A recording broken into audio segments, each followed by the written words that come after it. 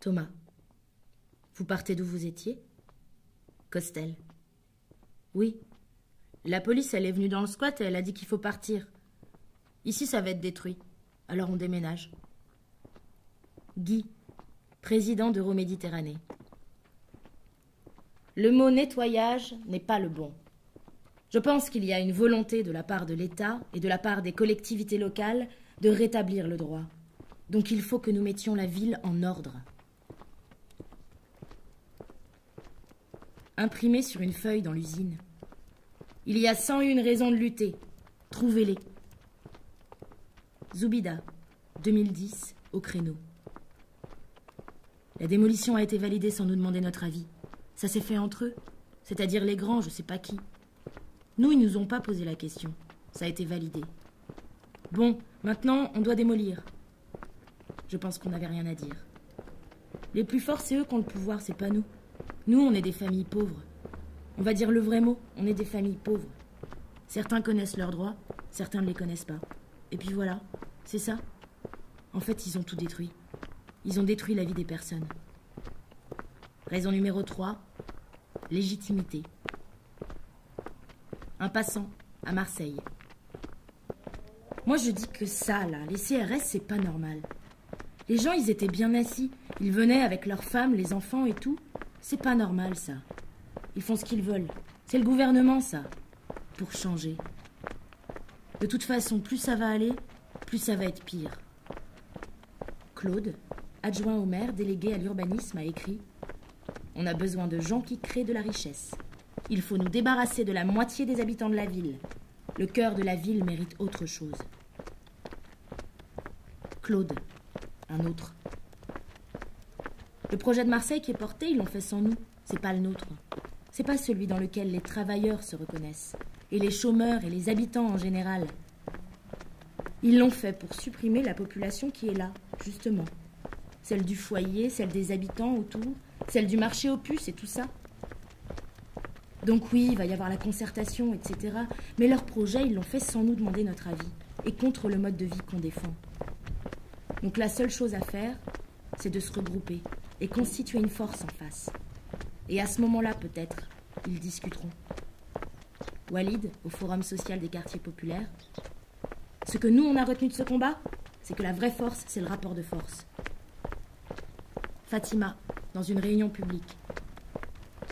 Organisez-vous, préparez votre réunion publique. Ne les laissez pas faire, parce que eux, ils continuent. Et quand ils comprendront que vous êtes organisés, là, ils auront les chocottes, et on va peut-être penser aux habitants des quartiers. Yves, ouvrier en lutte. On rencontre beaucoup de gens qui disent qu'une fermeture, c'est la fatalité. Qu'ils sont résignés parce que c'est des grands groupes, eh ben non. Il faut changer d'état d'esprit. Il faut se dire, oui, ils ont le pouvoir, mais pourquoi pas nous? Raison numéro 4, refuser la fatalité. Yves, toujours. On sait très bien qu'une fois qu'on aura gagné l'usine, ça va être un autre combat. Ils vont essayer de nous tuer autant que là, ils essayent de nous tuer. Parce que des ouvriers qui reprennent l'usine et que ça marche, eh ben ça leur fait pas plaisir. Raison numéro 7, résister. Juliette, donc, euh, maintenir ce système? Ouais, non, je le verrai pas comme ça. Abdelaziz Dans les quartiers, il y a des forces considérables. Il y a des gens qui sont capables d'apporter de vraies solutions aux problèmes. Mais pourquoi on les met pas eux en avant pour qu'ils parlent de leurs problèmes? Pourquoi il y a toujours ce paternalisme? Et ce paternalisme-là, vous savez ce qu'il a entraîné? L'aliénation politique. Aujourd'hui, il y a des gens de ce quartier qui ont la trouille de se prendre en main. On leur a fait intégrer le fait qu'ils ne peuvent pas parler pour eux. Juliette. Disons que l'autogestion, je la vois que au niveau local. Ça peut être des petits endroits, des endroits très précis, qui après se mettent en lien les uns avec les autres. Ça, ouais, ça peut fonctionner. Raison numéro 12. La victoire est possible. Allez, nous sommes là. Sardines desséchées dans leur boîte rouillée.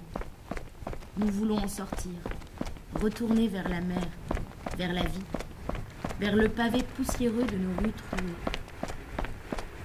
Ces rues sont à nous, ces pavés sont à nous, ces arbres, ces oiseaux, ces poubelles éventrées sont à nous. Ces lézards sur les murs sont à nous, ces affiches déchirées sont à nous, ces bâtiments brûlés sont à nous, nous, nous. Il est venu ce jour enfin où nos pas dépassent la limite des barbelés imaginaires. Cette marche trop longtemps a été repoussée. Cette place trop longtemps a été évitée. Ces mots trop longtemps ont été étouffés. Ces rêves vendus. Ces espoirs marchandés. Ces peurs imposées. Nous sommes là, aujourd'hui. Le sol peut témoigner. Les bras dansent en cadence sur ce rythme, ce mot. Qui aurait cru qu'un jour nos voix suffiraient à faire tout tomber? Tout est tombé. Presque tout. Si peu, en fait. Tout reste à faire.